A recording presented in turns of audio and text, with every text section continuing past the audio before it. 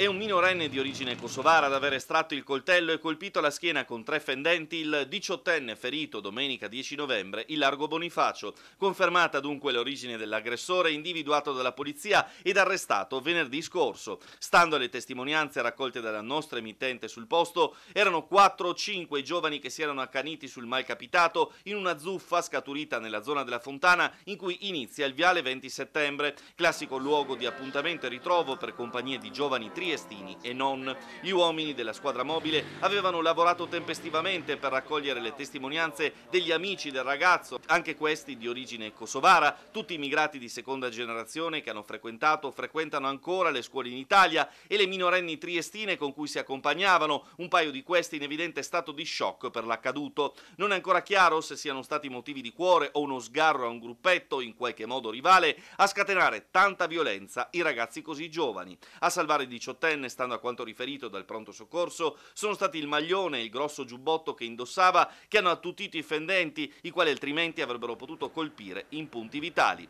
Il ragazzo è stato poi dimesso con una prognosi di 15 giorni, mentre sono attesi sviluppi ulteriori circa la posizione dei complici del minorenne kosovaro finito in manette.